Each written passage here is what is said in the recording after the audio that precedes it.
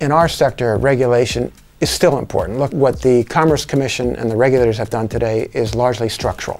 They've made structural changes, the mobile termination rates, the separation of telecom, the establishment of the fiber initiative. The next set of important things is behavioral. Big regulation tends to open up competition but actually stifle service creation, which I've seen quite a bit around. Regulation stifles innovation. And you know, had the government jumped in 20 years ago or whenever and regulated telecom, you probably wouldn't have Vodafone.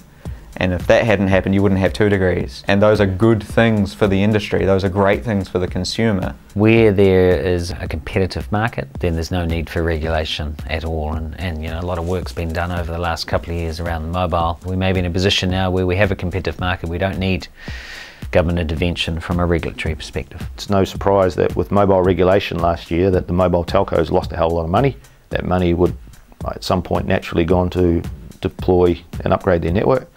In some cases, they're talking hundreds of millions of dollars of lost revenue. Regulation is a bad thing. It really has to be the last option. I think New Zealanders are waking up to the fact that everything should be based off of the commercials because it will happen organically and that will happen in an innovative way. Regulatory is not going to achieve, you know, what people really need in terms of business improvement or growth. It's a lot more fun to work in a market where, you know, the market works as opposed to some kind of intervention. In terms of termination rates, that probably did need to be regulated. So that is a healthy use of regulation. We're still concerned about on-net discounting. So if you make it cheaper to call only your customer, right, Vodafone to Vodafone, telecom to telecom, those kind of behavioral things that, that the Commerce Commission needs to continue to watch to make sure that the, the competition, it, it is a level playing field, to make sure you're getting innovation and you're not getting anti-competitive things that go on that, that large incumbents tend to do.